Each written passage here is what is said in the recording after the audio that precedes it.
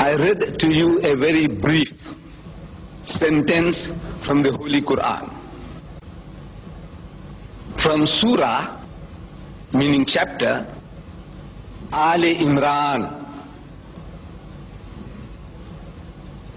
You owe it to yourself, Muslims as well as non-Muslims, to get hold of a copy of the Holy Quran. I said Muslims as well as non-Muslims. The non-Muslims, they must know, they owe it to themselves, that since there are one billion Muslims in the world today, they ought to know how their minds are working. Even as a missionary, you want to fight the Muslims, an intellectual battle, even then you need the book to arm yourself as to what the other person believes and what he, his book of authority is. And for the Muslim, it's also imperative that in this environment, English speaking environment, that each and every Muslim here ought to arm himself with the English translation of the Holy Quran. So in Surah Al Imran, chapter 3, ayah number 19, verse 19, Allah Bari Ta'ala tells us, He tells the whole of humanity, addressed to mankind, say, Inna dida in Allah Islam. Most certainly, the religion or the deen, the way to God, acceptable to God Almighty, is Islam. Another place Allah says, ومن يبتغي غير الإسلام دينا فلن يقبل منه وهو في الآخرة من الخاسرين that if anyone chooses a religion other than the religion of Islam he has lost in the hereafter he has no place so what about Judaism what about Christianity when we say that Islam is the only way is there no such thing as Judaism? Is there no such thing as Christianity? No, there are such systems. Then what does the Quran say? Allah does not accept anything but Islam. Only Islam, submission to God's will. That is what He wants. So now I have to satisfy the chairman and you, my brothers and sisters, how do I justify the statement of the Quran? No Judaism, no Christianity, but Islam. I am telling you, it's quite easy, very easy. You see, the Jew, Judaism came before Christianity and before Islam. That is what the whole world will tell you. Moses lived long before Jesus and long before the Holy Prophet Muhammad. Anybody will tell you that. But I am asking any Jew, you ask any Jew, what is your religion? And he will tell you his religion is Judaism. So I asked him, you can ask the Jew, is this in your Torah? We in Arabic say Torah, the first five books of Moses. The Jews say is the Torah, meaning the law, Genesis, Exodus, Leviticus, Numbers, and Deuteronomy, the first five books of the Holy Bible. Is it in there, your Torah? Like what we say the Quran is to us, the Torah is to the Jew. Is it in your Torah? This word Judaism? He will tell you no. Is it in your Mishnah, your secondary source of information, your commentaries? He says no. If he knows anything at all about his religion, he'll tell you no. The word Judaism is not in the Torah, is not in the Mishnah, is not in the Talmud. So you see now, he's, he's got to say it's not there. If he said it is, he said, show me where. He hasn't got it. Where did the word come from? Now you want to know where did you get it?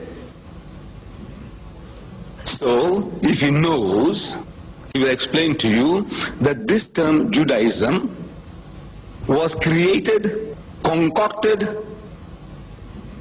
actually by the non-Jews.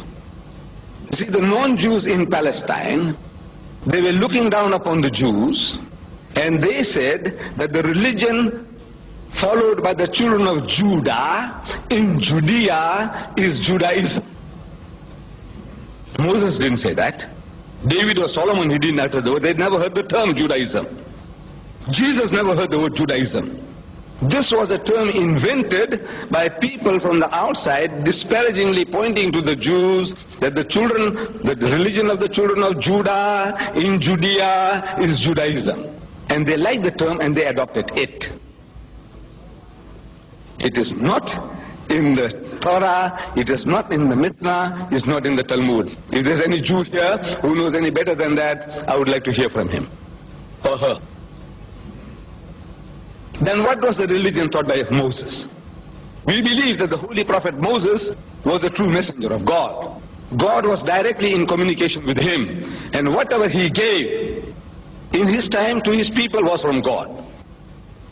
We accept that. But what was his religion?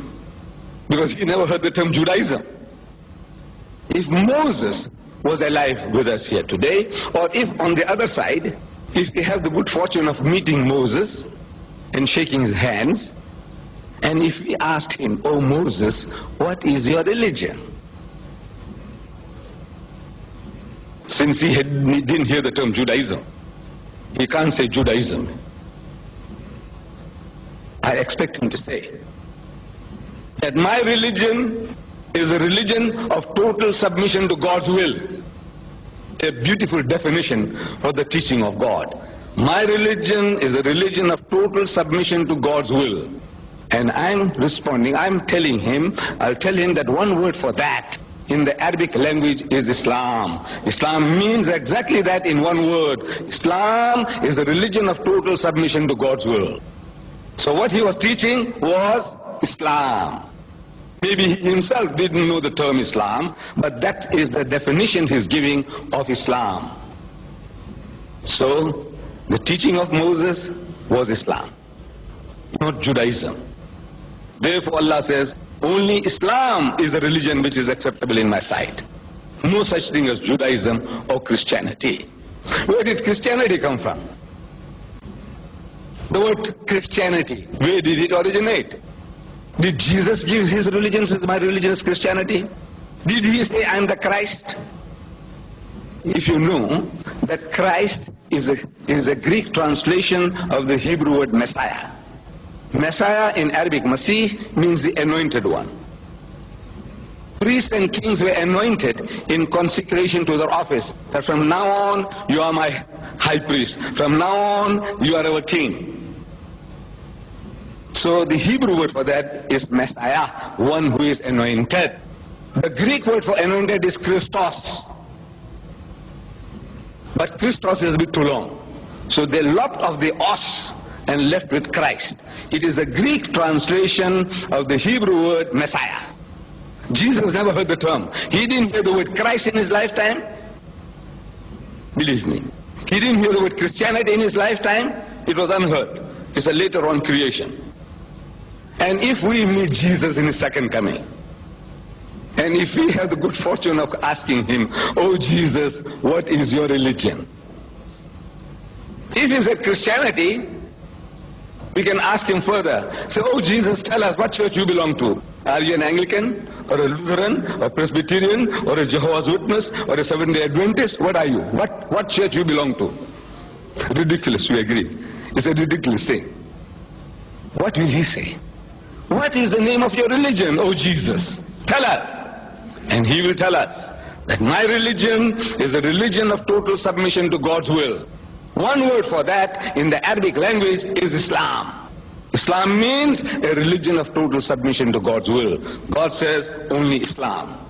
Christianity is your creation. Where did the term come from? It is in the New Testament that the enemies of the followers of Jesus, disparagingly they pointed to them at Antioch, and for the first time they use the term that these are Christians, meaning the worshippers of Christ. And the Christians like the term, so they adopted it, from which we get Christianity.